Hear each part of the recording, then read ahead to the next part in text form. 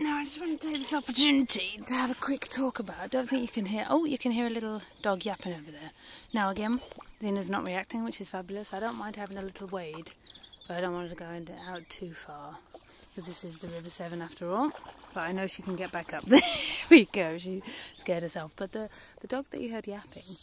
Now, one of the worst things to do when a dog is reacting um, in a way you don't appreciate or think is is, is acceptable, um, as in negative reaction, um, like you know barking at a dog or lunging at a dog, or straining at a dog, that kind of thing, then you should not. Or if a dog runs up to your dog, uh, even if your dog is scared or you think it's scared or you're nervous, do not pick up the dog.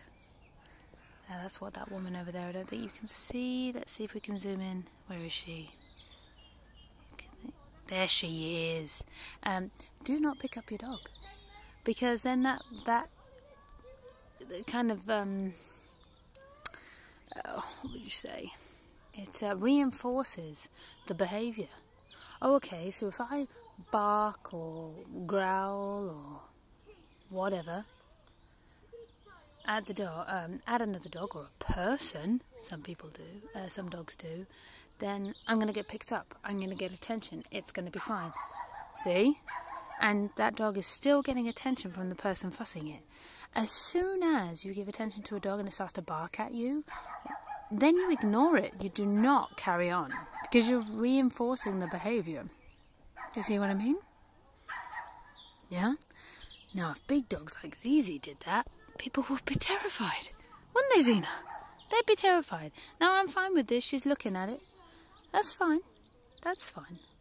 She's not doing anything. I mean, she's reacting, but she's not reacting in a way that I perceive as negatively. Yeah, there is some behaviour with dogs that you're not going to be able to stop.